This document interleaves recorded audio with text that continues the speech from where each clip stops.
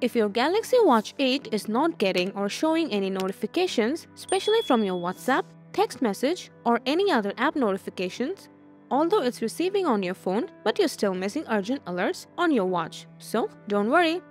To quickly fix it, first grab your watch and make sure it's still connected to your Android and the connection hasn't been disrupted.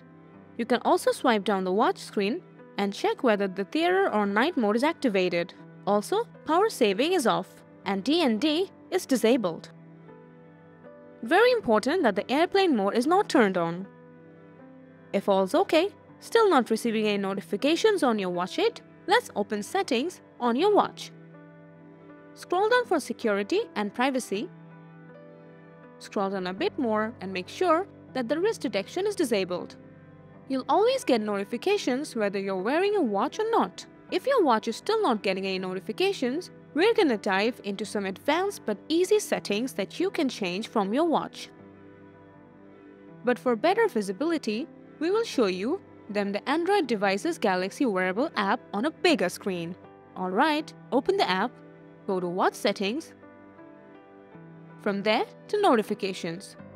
First, scroll down and make sure that Always Show on both devices option is selected.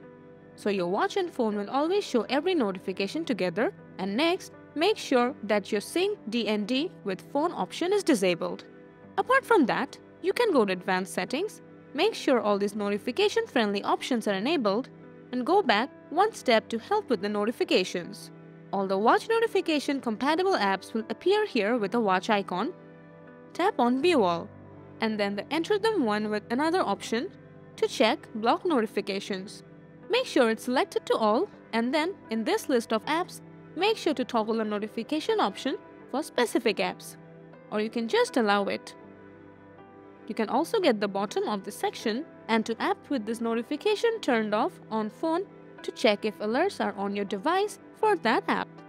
Enter the app one after the another and then allow notifications. Make sure all these options are turned on including lock screen. Go back and very important, from this pop-up, do not forget to allow the app notification on your watch. And after all that's changing all these settings, lastly give your watch and the sync device a simple restart so that they can properly apply all the settings or just have them changed. And from now on, you'll get every single notification on your watch. Thanks for watching.